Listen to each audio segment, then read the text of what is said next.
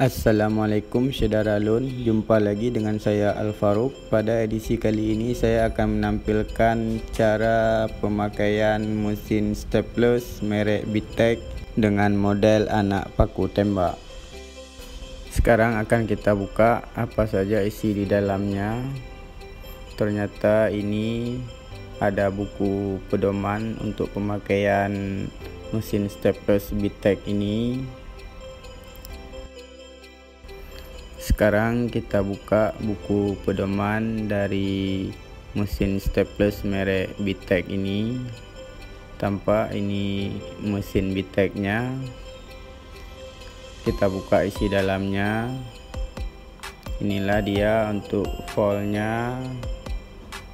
220 volt ampere 8 ampere dan maksimum penembakan 30 kali tembak per menitnya saudara lun Inilah tampak rangkaian mesinnya pada mesin stapler. Kita buka halaman selanjutnya. Ini tampilannya. Ternyata bahasa Inggris. Kita coba cari yang bahasa Indonesia. Ini bahasa Inggris juga. Ini pas ada peringatan ini bahasa Indonesia. Ini masalah keselamatan kerja.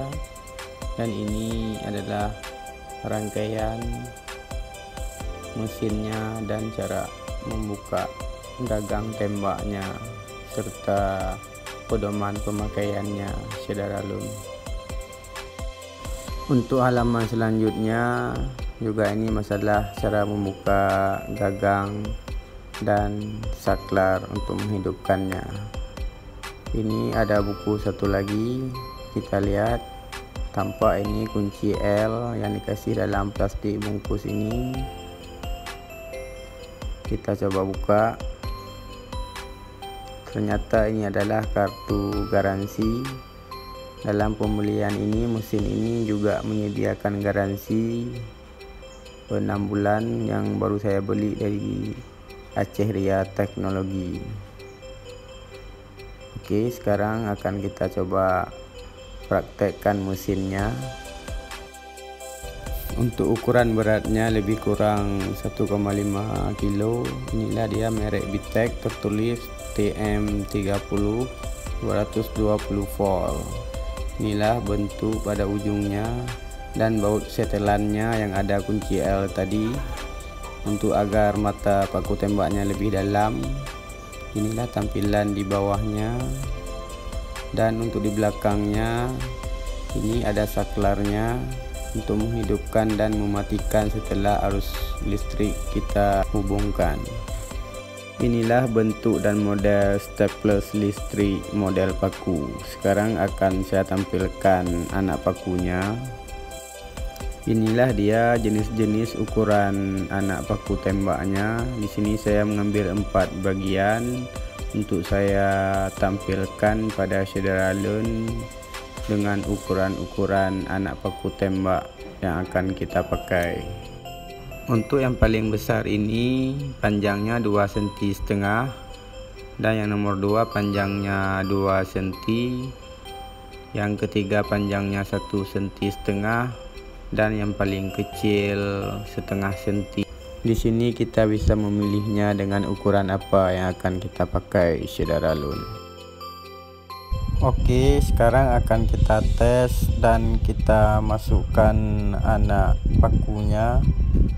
Beginilah cara membukanya. Kita tekan gagang atasnya dan pelatu tempat pengisi anaknya akan keluar dengan sendirinya.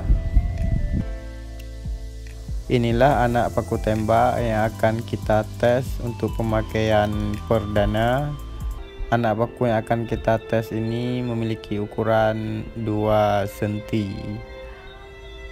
untuk ukuran 2 cm ini kita akan mencoba pertamanya pada papan kayu yang keras. Beginilah cara memasukkannya. Ujung paku tembak yang runcing ke bawahnya dan yang memiliki kepala sedikit ke atasnya. Dalam pemasangannya harus benar-benar rapat sehingga tidak terjadi masalah pada saat mengunci kembali penutup paku tembaknya. Setelah paku tembaknya terpasang sekarang akan kita hubungkan arus listriknya pada stok kontak untuk kita melakukan pemakaian pertama pada paku tembak bitek ini. Inilah papan yang akan kita pakai papan yang keras dari bahan kayu meranti. Kita akan mencobanya dengan memakai mata paku tembak yang 2 cm apakah papan ini akan tembus atau tidak untuk pemakaian pertamanya saudara lun? Setelah kita menghubungkan arus pada stok kontak maka kita hidupkan saklar di bawah ini untuk pemakaian pertama kita coba tekan yang kuat. Apakah paku tembaknya benar-benar tembus pada papan ini? Dan kita coba tembak beberapa kali lalu kita lihat hasilnya. Inilah hasilnya saudara lun. Ternyata kepala paku tembaknya masuk ke dalam papan dan tidak terganjal dari atas.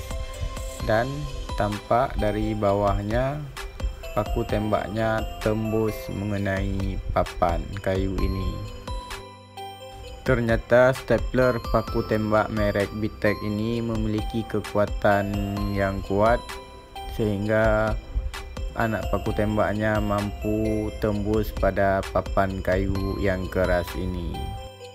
Sekarang akan kita coba tes pada pemasangan plafon multiplex dengan ketebalan 6 mili saudara lun.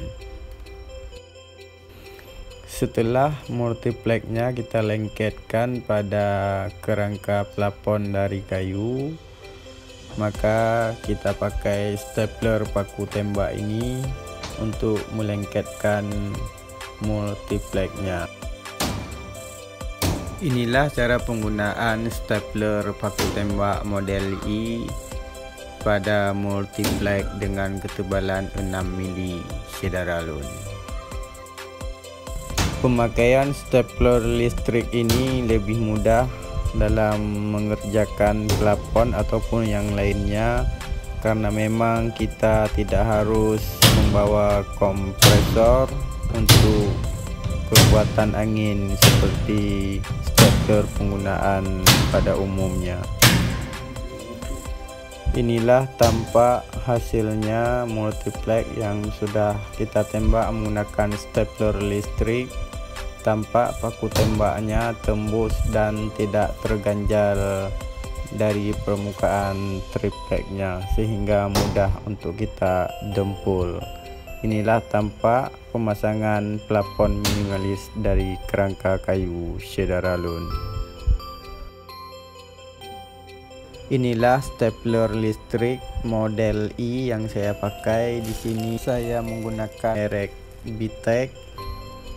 Dan yang satu lagi ini seperti yang saya tampilkan pada video edisi sebelumnya. Paku tembak listrik juga model U dengan merek Nankai kedua-duanya sangat bermanfaat karena memang memudahkan pekerjaan kita dalam pemakaian triplek ataupun yang sejenisnya dan tidak membuat kita ribet dalam membawanya seperti kita membawa stapler kompresor pada umumnya bagi saudara lun yang mungkin ingin membeli stapler listrik ini harus tahu terlebih dahulu bahwa walaupun kecil tetapi stapler listrik ini pemakaian dayanya lebih dari 6 ampere dan ia lebih mudah kita pakai pada kekuatan 8 ampere ataupun 6 ampere ke atas dan dia tidak bisa terpakai pada meteran dengan daya 4 ampere. Terima kasih bagi saudara Lun yang sudah menonton. Semoga bermanfaat lebih dan kurang. Dan bagi kawan-kawan yang baru masuk pada channel Al jangan lupa like, komen dan subscribe-nya agar ke depannya channel ini terus maju dalam berbagi ilmu. Sampai jumpa pada edisi selanjutnya.